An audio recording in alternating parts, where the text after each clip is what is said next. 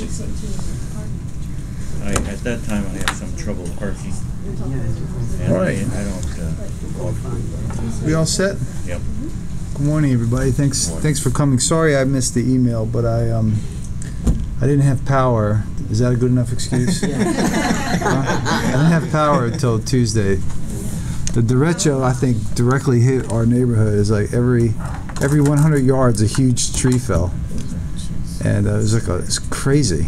Is No, I don't know where that is. I think that's in Washington D.C.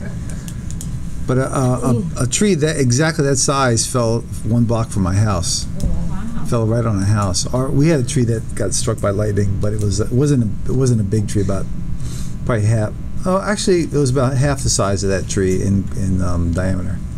But it crushed my kids' playhouse, so they're really upset. So we had yeah we had to get rid of it. A little bit sad. Not super sad, but just a little bit sad. Better Is the that playhouse than covered the by real homeowners? house. What? Yeah. Is that covered by homeowners insurance? Yeah, I was You gonna- never know. I mean, they say they say fix everything, and then you don't know if they're going to pay or not. That's like you You gotta get a know, rider for that. Playhouse rider. huh? Yeah, it's a little disconcerting. We'll see. It's almost like a redwood. So I'd like to go over um, compression fractures because we see them all the time. It's a really common um, common entity, and um, there are going to be more of them, I would assume, as our population gets older. Uh, the baby boomers, like Adam, get older. And um, you a baby boomer? No. No? You are you Generation X? 68? Yeah, I don't know. What do you What do you consider yourself? Generation X? I have no idea. No, I, I don't. He doesn't believe in labels. That's right. No, I don't. You're the same age as me, so we're so you're a little younger. I think we're Generation X. So um, every year there's uh, 750,000 fractures in the U.S. alone, which is amazing. It's a lot of people. It's almost a city. And um, from 2001 to 2005, the incidence of vertebroplasties or kyphoplasties doubled. Um, and um, so there's a lot of uh, a lot of these cases are being done, and most of them are being done, um, I think, by interventional radiologists. Do you know anything about that? She might know better than I. Yeah, there's a lot of interventional radiologists and pain management that also do A lot or most? Do you know? Who does most of them? um, interventional radiologists. Most, yeah. So it's mostly done by interventional radiologists, not surgeons. Yeah. So I think they see the fracture, then they say you need a kyphoplasty, and they book it. So it never, an orthopedic consult n- never gets obtained. Well, somebody refers them to the, you know, the patient isn't presenting to the interventional radiologist. I think a lot of Somebody them- is referring them to the interventional radiologist. So the first, uh, the first kyphoplast or uh, vertebroplasty was in, Am, how do you say that? Amiens, Amiens. Anybody know? Amiens. Amiens, Amiens, France, in um, 1984, and uh, it was for a tumor. I think it was multiple myeloma, and it makes a lot of sense as you have this um, vertebral body, which is deep within the within the, uh, in, the in someone's body cavity. It's very hard to get to either anteriorly or posteriorly, and if you can just percutaneously insert cement into it. It's, it's a tremendous advance. You know, it treats the pain, treats, uh, stops the collapse, uh, you can get a biopsy. It's kind of like incredible. And it was introduced into the U.S. in 1990. And the technique um, goes usually through the pedicle. And the starting points, the way I do it anyway, is a superior lateral pedicle. And then you very slowly, under biplanar fluoroscopic imaging, two views, um, push the the um, the awl uh, which is what I call it, AWL, or you can call it the needle, slowly, slowly, slowly, slowly into the vertebral body on the lateral view. And on the AP view, you never want it to go uh, medial to this point because if you go inside that point, you'll go into the spinal canal where there's uh, spinal fluid and nerve roots. So it's a very safe procedure, but the, this uh, this cartoon is kind of like best case scenario. Quite often you can't see anything. Um, people are osteoporotic. People could be obese, and you can't see it on the X-ray. And the most common problem I have is uh, scoliosis. So a lot of these people have scoliosis at the same time, which makes it extremely difficult. But if you can if you can recreate it in your mind's eye, um, you can still do it. but it does uh, carry some risks uh, anatomically if you to get it in the right place. So, any questions about the technique? How you do it? Okay. And now, this vertebroplasty, by definition, is just sticking cement into the bone. Kyphoplasty is a trademarked uh, term um, by Kyphon, where you, uh, by definition, you inflate a balloon and then insert cement where the balloon was. And I think the biggest, the biggest reason to uh, insert the balloon is it creates a cavity where the where the cement will flow. Otherwise, there is a chance that the cement could flow somewhere else, and the cement will flow, you know, path of least resistance into the cavity, and not somewhere else. And the two areas that can go is uh, into the venous system and then lungs, and cause a pulmonary embolism, just like in a total hip replacement, which can be fatal. Uh, or it could go into the spinal canal, which could cause a nerve injury. So those are the two areas you don't want it to go. So any questions about the different types? So they're really the same thing, except for the, the kyphoplasty, you, you insert the balloon and you make it bigger. And kyphoplasty is uh, Kyphon, which is um, a Medtronic uh, company. It was bought out, I think, two years ago. So any questions about kyphoplasty, vertebroplasty? So- Do you do kypho 100 or are there certain cases you can't do the kypho, you have to? Uh, well, um, I think I've never I've never failed inserting the balloon. Okay. You mean is there one reason to do one and not the other? Yeah. I think they're interchangeable. So I don't think it makes a difference. It's just a different technique. So I don't know why people do vertebroplasties. I, I feel that it's it's uh, better to do the kyphoplasty because you have this uh, this void, so it helps you decrease the probability, even though it's extremely small, the probability of cement going somewhere else. You're watching it intraoperatively on the C arm, but you can't see well sometimes, and It's also isn't it, it's an extra step, right? That you got to do the balloon, and then you're also potent. I mean, I thought the f- the first theory about using the balloon was actually was not to create the cavity, but was to expand, The- kind of like a jack lifting up a car. Right. Was to lift up that collapsed. was to make it from collapsed into non-collapsed or Yeah. straight. That's been proven it doesn't work. Right, but that was the. That was the initial theory, yeah. that was the theory about doing it. Yeah, it's been proven, and and I remember the, in an academy meeting in 2003, they proved that it didn't didn't help. And then one of the surgeons who's on the Kyphon uh, advisory board stood up and found a lot of uh, um, errors in the research, but he was completely wrong. I mean, the research was done perfectly. It doesn't help, and I've never seen it to help. But the, the fracture does reduce just by laying the patient on certain rolls, by and then you s- putting them to sleep. It's should they straighten out. So you got it's like from a three point bend. If you if you put them like kind of like the span of a bridge. If you put them on, and, the, and then the crooked part becomes straight. Code Blue A from 117. So so the benefit of these things is it's a percutaneous procedure, and then the patients get immediate pain relief because the cement hardens within a minute. So it's it's it can be a great procedure for some people, but you can still treat these things non-operatively and with a brace. And the, and the negative is, well, as therapists, do you think these things work? You guys see them all the time. All the time, all the time. Yes. They're- Really? It's amazing, the, the turnaround when you go in and you try to move them prior to kypho. They don't, they're not wanting to do that because it's too painful. And then Mhm. all of a sudden, it's been done, it's in place. It's like they've never, ever had that pain of the fracture. So you find it's a dramatic improvement after the kyphoplasty. I have a specific example.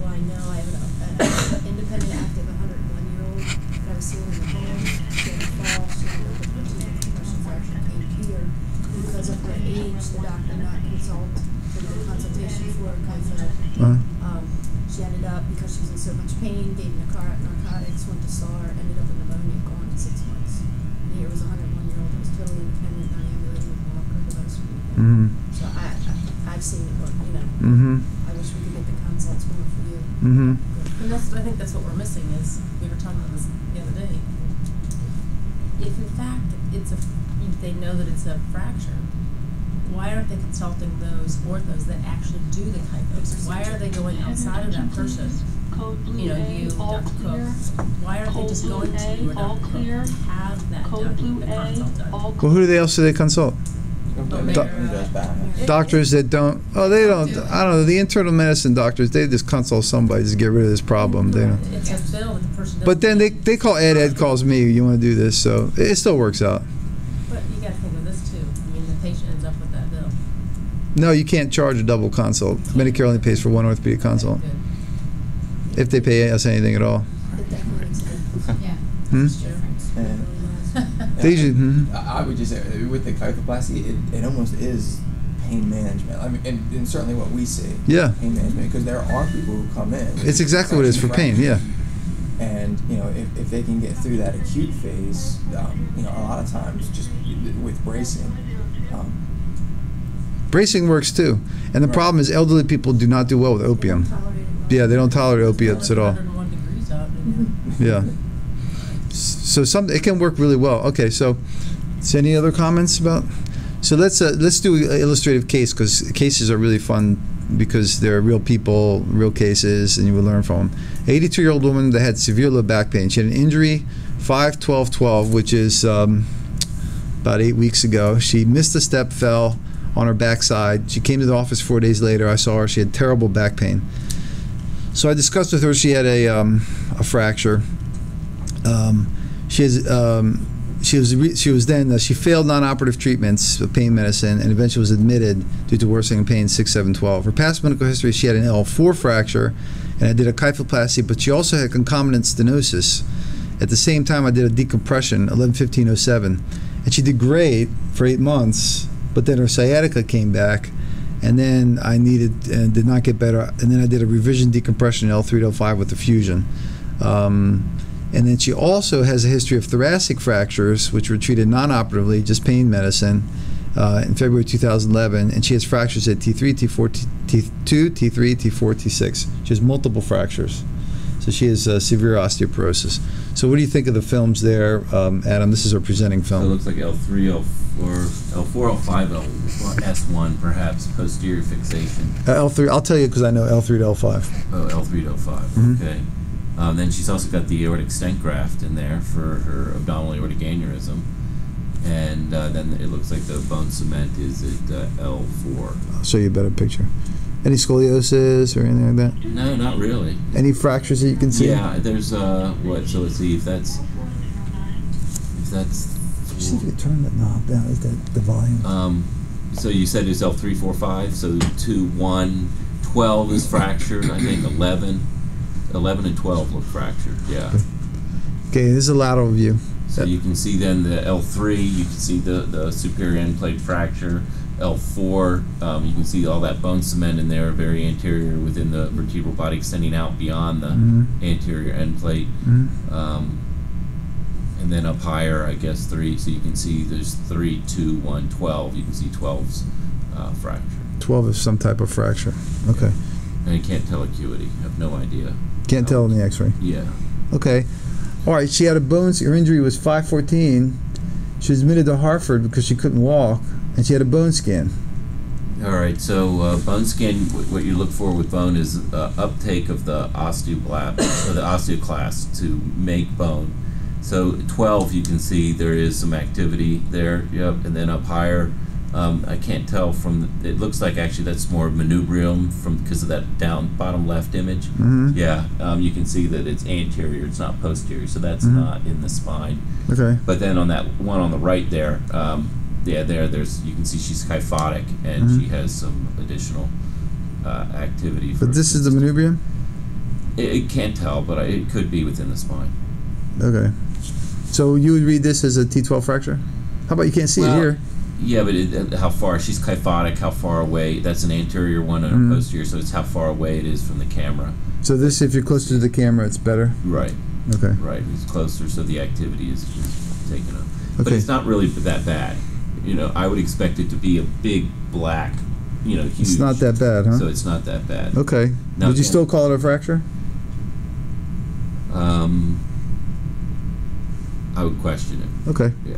So she had an MRI um, three weeks later after that bone scan.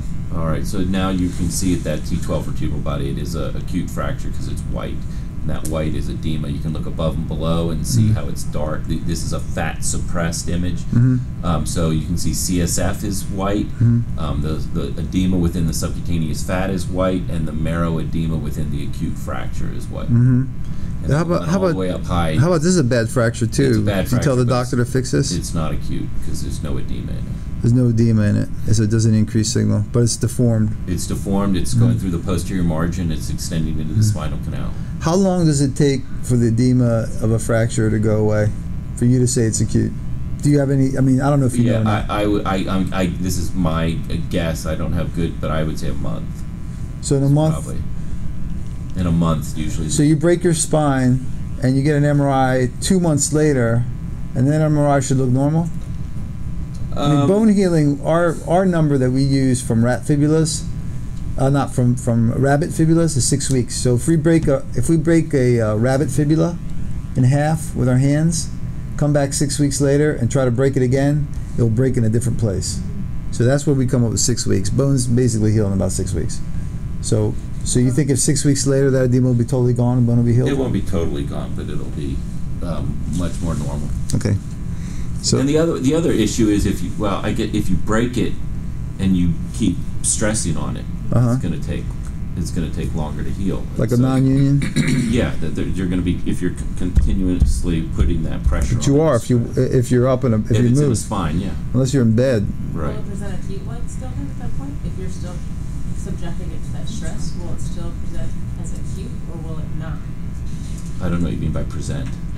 Look, will it look? I think she Will wants to look say, the is it MRI? does it look white on the MRI? Yeah, yeah. If It'll someone be white, keeps but not active. as white. Okay. It'll be l- l- duller. Okay. Yeah. How about- when heals in six weeks, is that your time frame? when you know it from the fall to time frame to do a kyphoplasty, or is there a little time? The time there's no there's no rule. It's, the time frame is when you want to do it. So it's basically you tell the person you if your pain is severe, you can do it day one, but in, after about a year or so, it's got to be healed. So I have seen cases where doctors do the kyphoplasty and, and with like, like on, on cases like this where the MRI looks normal and it's basically healed and they shouldn't have done that because it's not going to help. It's not like after two months after the fall, we don't want to put this out there. after two months, it still may be painful. So it, it could be a non-union, a spinal non-union, and still, still edema, and, and, uh, the periosteum gets inflamed. So what about this for you, uh, Adam? So uh, this you can this is it looks like the CSF is still white.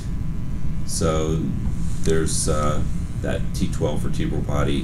It, it's uh, healing, I, I, uh, that bright area in there, I don't know what that is. This is the same time. This is the same time frame as uh, this one. same study. Yeah, these are, yep. I'm going to show you this one, this one, this one, this one. Uh, yeah, those are the three you get. Mm. Keeping up with that. Yeah. Um, well, about the fracture here? Well, I think that's a hemangioma. Okay. Yeah, and so that's just some. Uh, I, that's probably blood. That bright NT12 Mm-hmm. It's probably blood. This is probably blood right here. Yeah, as to why it's bright, and then the rest is kind of dark because I'm guessing this is dead T1, so that mm. that is uh, blood, or it could have been fat that was already there. Mm. Um, you know, could have had a human. You could fracture a vertebral body with a hemangioma. So she did not have any hemangioma because I've, I've seen her before. So that's probably blood. Okay. Now here is a a, a T2, and you can see the, the the big thing that I'm learning from this picture is the posterior margin of the vertebral body is involved with the Mhm. fracture, and there's extension of bone into Mhm. the spinal canal, Mhm. a body displacing and deforming the spinal cord. hmm The conus right there. So by definition, if it goes backwards, it's a um, burst fracture, but it's not a true high le- high energy burst fracture like a young person. Uh-huh. These are low energy injuries usually, and they're usually uh, quite stable, and they don't move around. How about the CAT scan?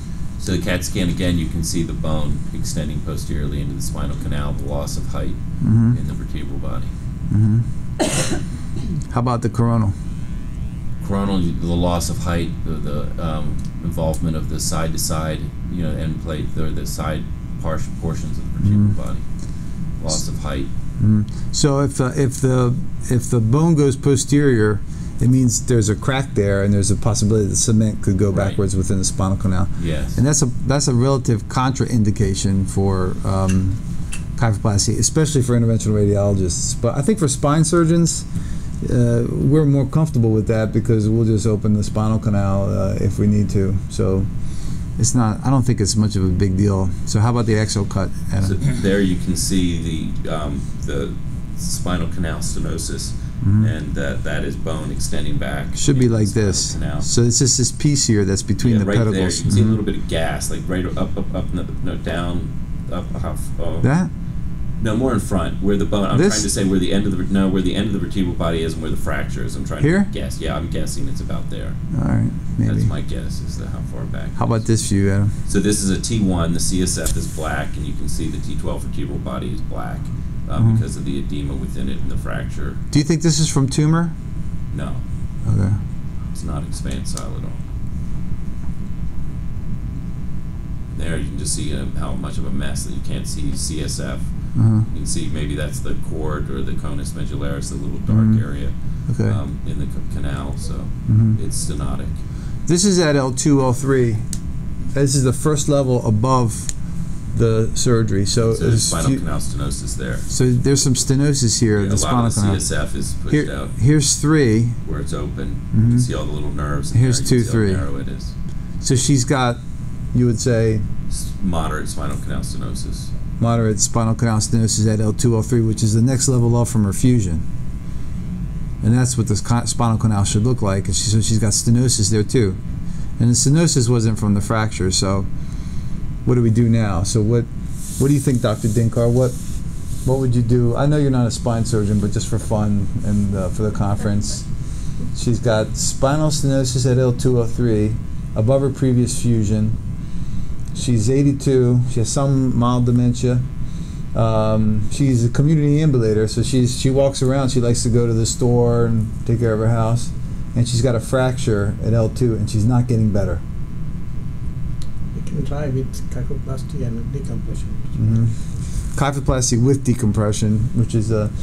So, any anybody have any other thoughts or questions? What anybody would do?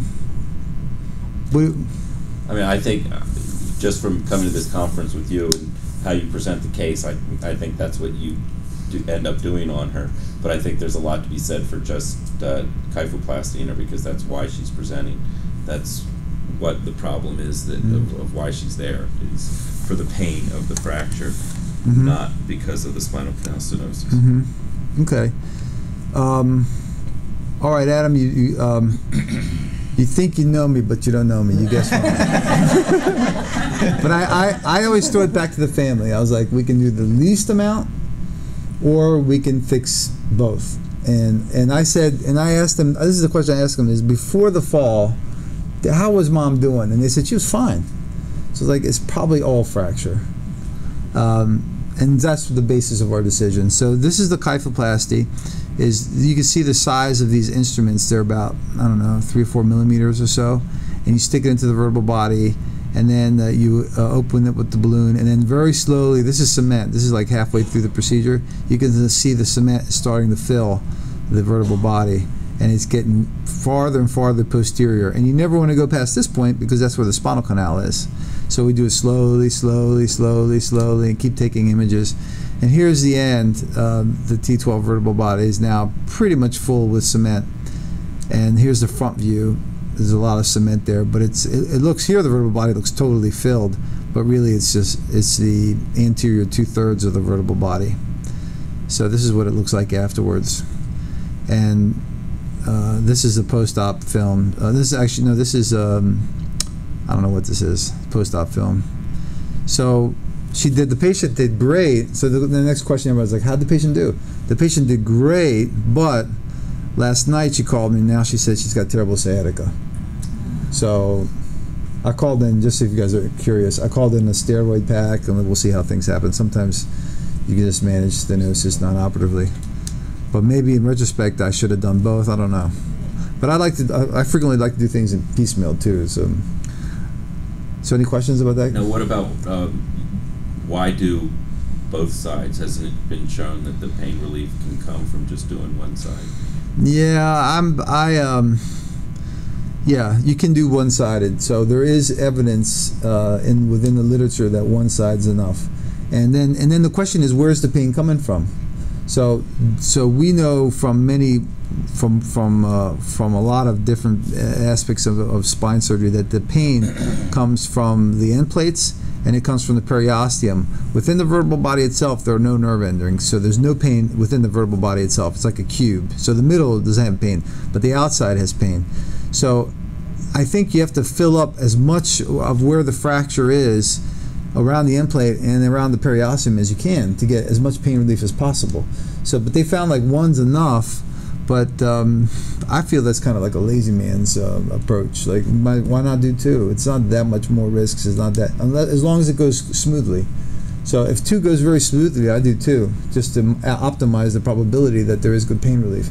But if I have problems, uh, then I think one is sufficient. So I, I do two, but And you do them at the same time, though. You don't Uh-huh. do one and the other. hmm So, um, but there is some evidence that one's enough. But it's just it's one piece of one piece of information. I mean, who knows? Only God knows the truth, like what you should really be doing in every case. And so, if, as long as it's simple, why not maximize the patient's uh, probability of good outcome? That's why I do too. But sometimes I do one if I have a problem, like if one doesn't go well, if there's a problem, then I just do one. To answer your question, okay. So, um, so any other comments on that? What do you got? Okay, here's another um, interesting case. He's an 85 year old man, uh, man with an injury 8810. He, he stooped down to pick up a paper and immediately had pain. He couldn't get up. He went to the emergency room, went to pain management. They gave him a bunch of shots, steroids in the back. Um, he then saw me um, 10 20 10, which is about two months after the injury. He has a history of prostate carcinoma treated with chemo about 20 years ago. So, what are your thoughts uh, here, Adam? It's a L. There's an L two fracture, and Mhm. again, it involves. It's it's not a wedge fracture because it involves the posterior margin of the vertebral body with extension into the spinal canal Okay. and loss of height. Is this cancer?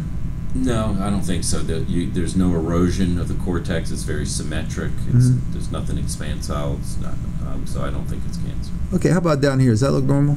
No, he uh, probably has pars fractures. Okay, right here. He has pars fractures. Yeah. Okay. L5 and uh, anterior listhesis of five on one. Okay. And it's very chronic with a lot of remodeling. He's got this big osteophyte, really, pr- right from the yeah. from the stress of the L5 going anterior. So here's four five. Adam, what do you think? Showing a moderate to severe spinal canal, probably severe spinal canal stenosis. hmm um, with facet arthropathy, ligamental thickening. hmm Here's the ligamentum flavum, Yeah. and the um, the facets have some Fluid. fluid in it. yeah. How about what do you think of sagittal cuts? So you can see the fracture in the L2 and how it's extending back, and then you can see spinal canal stenosis at 4 5 and 5 1. See, the four five stenotic, and five one has a little bit of spondylolisthesis, right? Yeah. Okay, can you tell how old it is by the MRI or no? No. Well, again, it's. Um, What do you, no. what word The do you use? No. You say you say acute, a subacute, or I would recent? for this one. I would say subacute because it isn't completely white. The vertebral body. It- Okay. It's it, it looks like there's some healing to it. It still has some areas of edema, but Okay, just so you just put this in your data banks.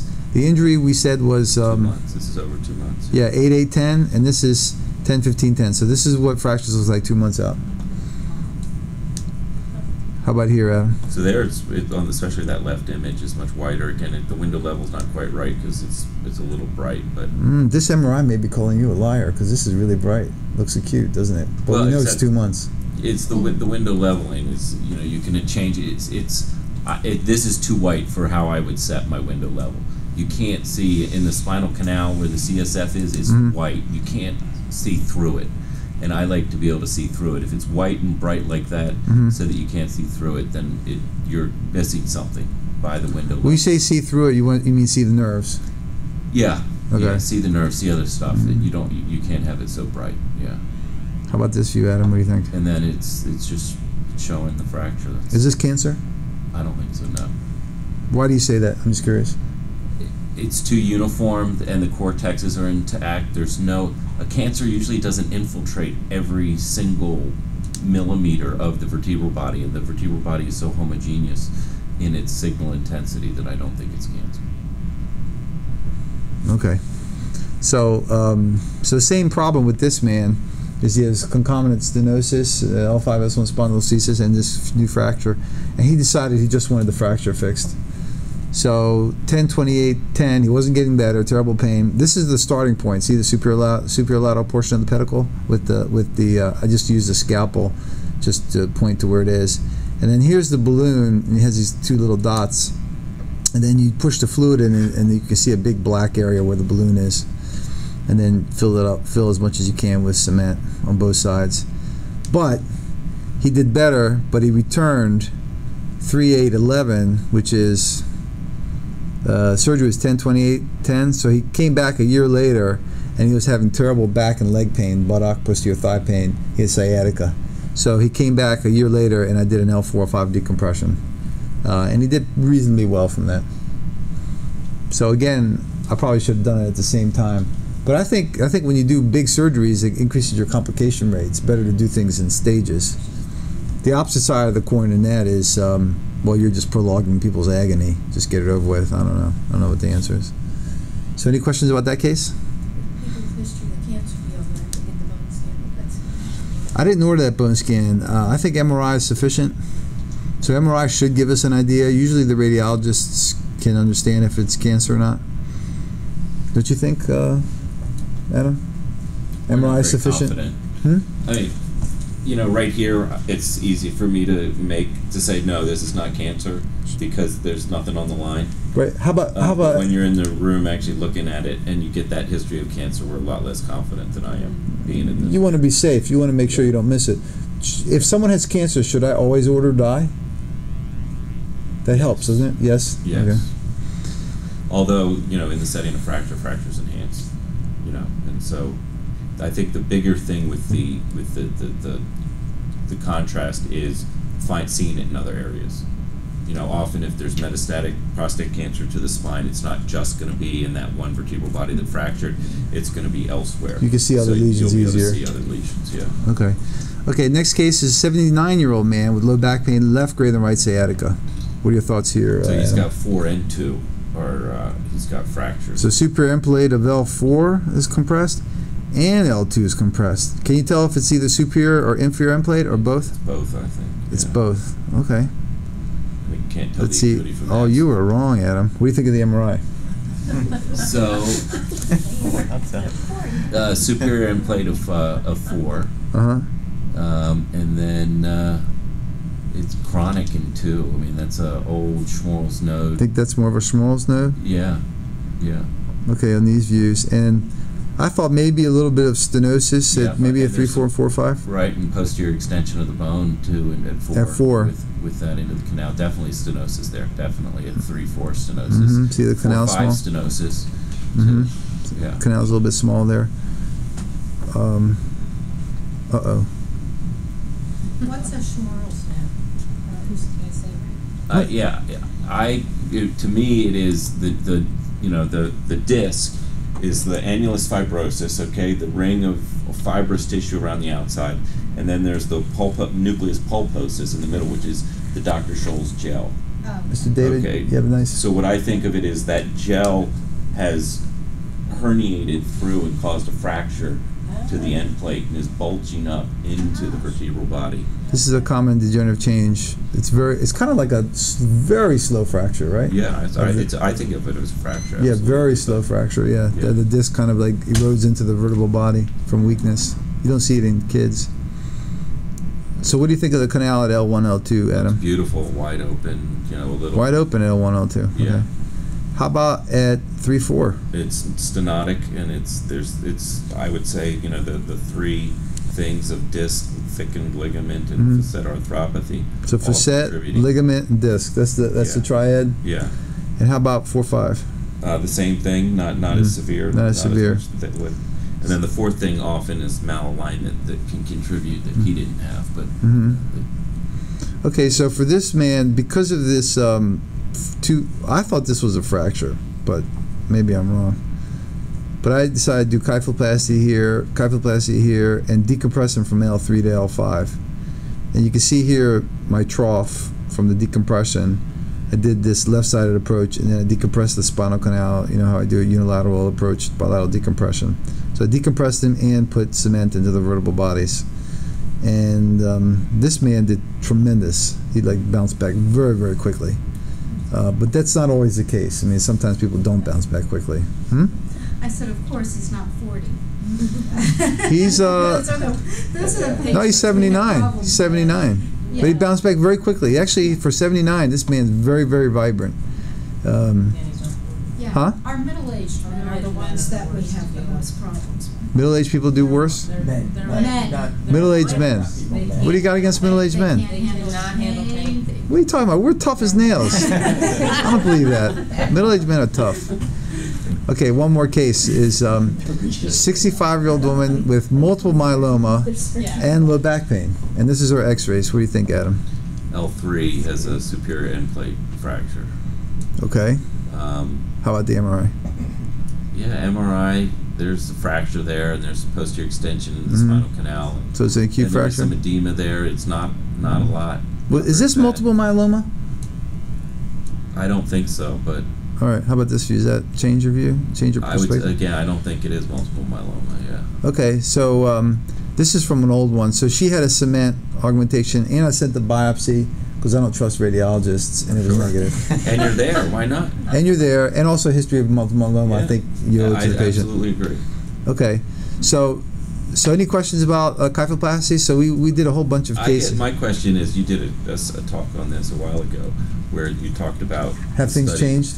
You, you talked about the study that people were doing, you know, showing it that it's a sham surgery. Let me, let me let me go over that real quick Okay. and ask your question in a second. So just to review, this has been studied. Now it's been some time. It was 2009. It's Okay. been it's been a, two years since the, the previous uh, um, um, conference that we had. And just to review just to review everything for people, it was in New England Journal of Medicine. So we have a rule in orthopedics is that if there's an orthopedic study in the New England Journal of Medicine, it says that surgery doesn't work. Because just it's a guaranteed. It's never because that's all they ever published. They never published that orthopedic surgery does great. And um, so they did a randomized trial of vertebroplasty versus sham, sham surgery. They did. They had four sites, um, uh, and uh, they had a randomized parallel group placebo where they took people to the OR, cut their skin, put in a needle, and then opened the cement up so they can smell it. But they didn't do the surgery, and they said they did it uh, over four years, and they tested it.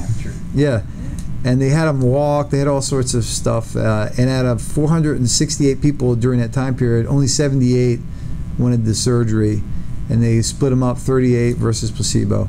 And this is like pain. There's absolutely no difference. Um, quality of life, no difference. Pain at night, no difference. Uh, pain score and function score. And in, in the same in the same art, article, the same journal, uh, same time, there's another study, August 6, 2009 again, same time period, and it- these it was supported by a grant from the National Institute of Arthritis and Musculoskeletal Skin Disease, the government, because the government's paying for these kyphoplasties.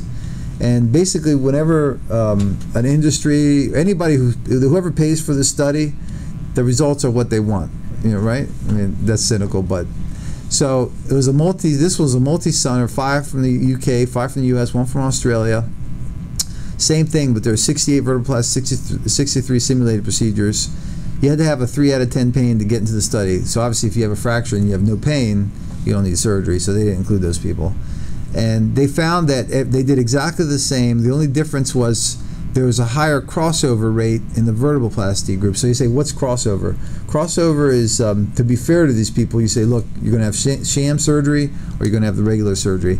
After a month, we're not going to tell you what you had, but if you're really unhappy, you can go into the other group. So some of the people who had the normal surgery went into the sham group, and some people that had the sham surgery went into the vertebroplasty group. Interesting, right?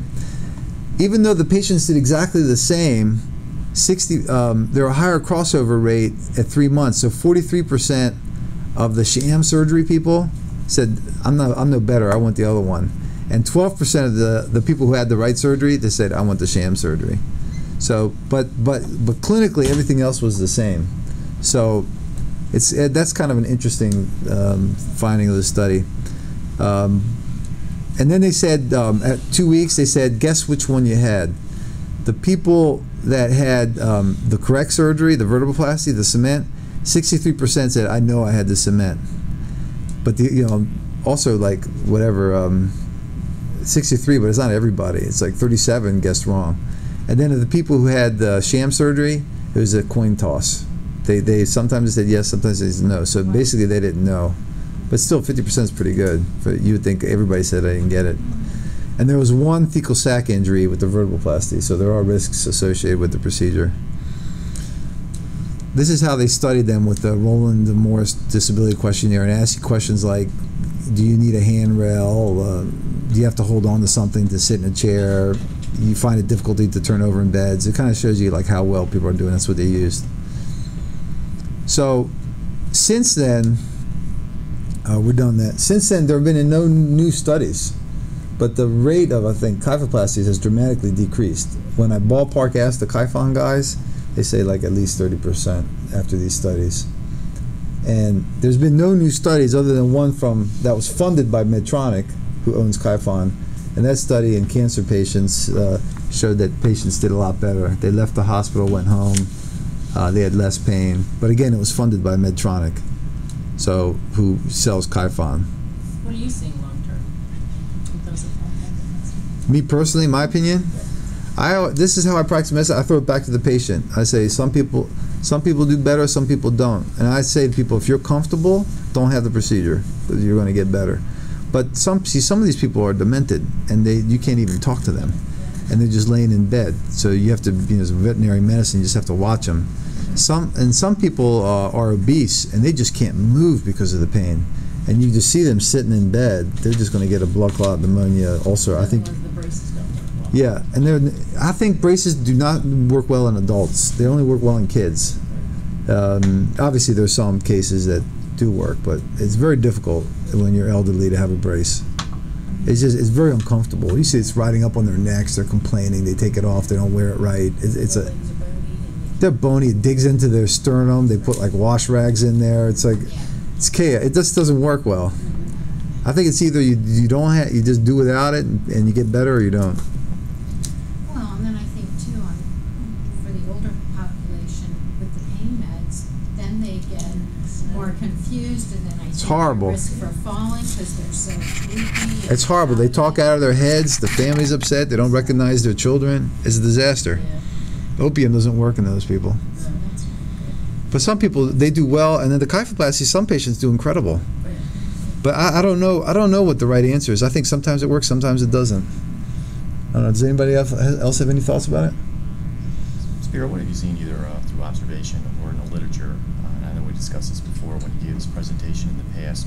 Um, I mean, when you're putting that methyl methacrylate in, in there. Yeah. Uh, Polymethyl methacrylate. Right, right. Mhm. Um, it's um, and a lot of these patients are osteoporotic anyway. Is Mhm. it causing compression fractures? Uh, superior In other places, yes. Other places. hmm I've seen that, and it's been studied, but I'm not sure what the answer is. But I, I've seen multiple fractures, and whether that was a cause of the vertebroplasty or just a natural progression of the disease, nobody knows. But it's possible. But it would make sense that Right. that area is relatively stronger. But it usually, I've never seen a fracture exactly next to it. You would think that they would fracture exactly next to it, uh, next to the relative area of strength. You know, like like people uh, break uh, above plates. Uh, so I'm not sure. It's probably just a natural um, disease progression. I think the only risk is the immediate risk from surgery is a blood is a um, as a neurological injury, uh, a, a CSF leak, or um, a, a pulmonary embolism from the cement.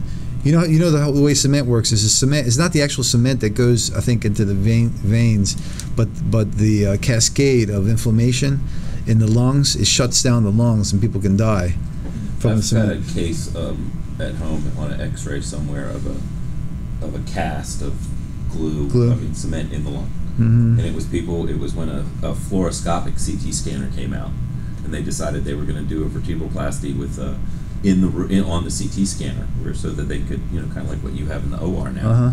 Um, and this was an interventional radiologist, and they, uh, you know, the they did the case. Case went fine. Sent the patient back up to the floor. Patient's up on the floor, and it's like two days later. And you know, for whatever reason, the medicine team taking care of him decides to get a chest X-ray, and he came back down for a chest X-ray, and there in his uh, left lower lobe was the outline of the pulmonary artery filled with cement, and you know he was, it, he it was it wasn't really he wasn't there for short of breath he wasn't there for you know the chest x-ray wasn't there for a pulmonary embolism it, was unrelated he you know was doing fine but it was a matter, I think, of sort of seeing the, the trees for the forest.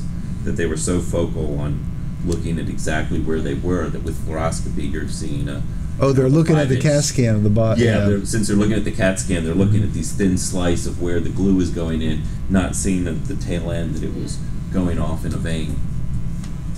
Yeah, but we ultimately do.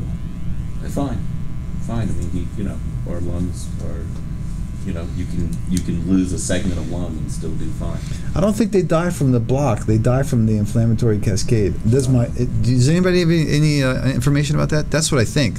I know that's how in orthopedics. That's how that's how patients die from cement and total hips. Is uh, is is uh, inflammatory cascade within the lungs, and patients die from cement sometimes. It's very rare, but it It's happens. like internal shunts in, in the lung, or is this different? What is it? You get it. You get a. I think you get a functional pulmonary embolism from uh, uh, from the inflammatory cascade within the lungs. From the and, cement. And it's I, I, and I've heard of a case and saw some pictures in a lecture where the um, a doctor had done like four or five vertebral bodies in a, on the same patient at the same time. And so it's almost like it's the glue overload. It's, it's That's a high right. That's a high. That's definitely known risk factor more than Yeah, one. Yeah, and it, it is because you know there's whatever it is that's evaporating or you know drying out from the con- of the cement that I think gets to toxic levels and is sort of poison. Yeah, And, yeah, and I think, like you say, it induces an infl- inflammation in the bloodstream. yeah. Like a bee sting gives you, you know, swelling everywhere. You know, I think kind of. I think that's a, maybe an analogy. Okay. Any other questions? As far as us from therapy, once you do the procedure, is there any time frame? Go for it. Go for it. Right away. Yeah. Yeah. Once you have the procedure, just go for it. Push them hard. What else? Any other uh, comments or questions? Or? All right. I'm sorry, Spiro. That's my flag, guys. Do you want to, this is a little history. See that? That's Spiro Oh, Antoniades. And I bought this flag for my children. It's the Roland Park. Um, uh, it's the Roland Park Fourth of July parade, where like 5,000. Basically, it's uh, 500 kids on bicycles, and um, and I uh, I bought this flag for the parade. I bought it on Amazon.com. We're all holding it, and uh, it's kind size of that thing? Uh, 15 by 25 feet. Okay. And uh, Betsy Ross had that in stock? Yeah. what? BetsyRoss.com. and that's that's my that's my daughter's um, former best friend. Like in her other school, she was riding underneath the flag. Falling out. Yeah, and that's my that's my daughter right there. All the kids were there. The kids were riding their bikes underneath the flag. It was like a lot of fun. At the very end of the parade, there's a um, the fire engine has like a uh, mists everybody, so it's they're all soaked and they're running around going crazy. It's a great parade. If you guys ever want to go, that's my wife right there. She didn't want to do it, but she eventually gave in. All right, thanks everybody for coming. Hey, thank you. See you next month.